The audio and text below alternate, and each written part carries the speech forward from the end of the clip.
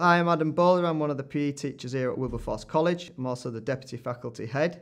So if you choose to do the Level 2 um, and the Level 3, you will spend your full time in the PE department. If you do a certificate, you will be accompanying this with two other subjects, for example, biology and psychology.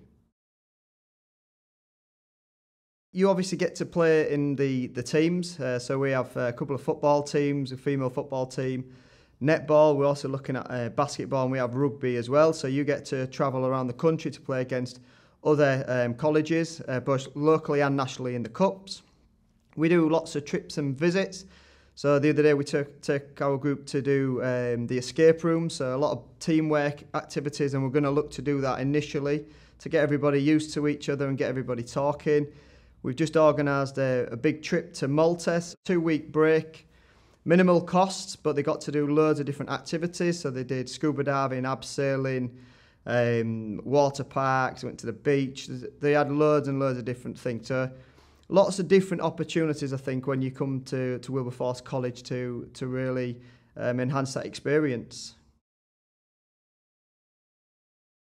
I think um, historically, looking at it, a lot of them do go on to university. They they come out of this course with really good grades, so it enables them to get enough UCAS points to get into the into the good universities.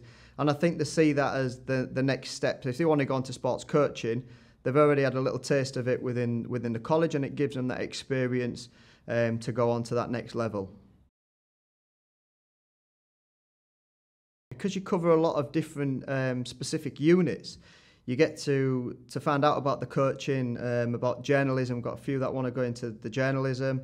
Um, you're look, looking at working in the in the gyms. Um, we obviously touch on uh, personal training, so fitness training programming. So we've got a lot of students that have got that knowledge then to go on and do the the personal training courses.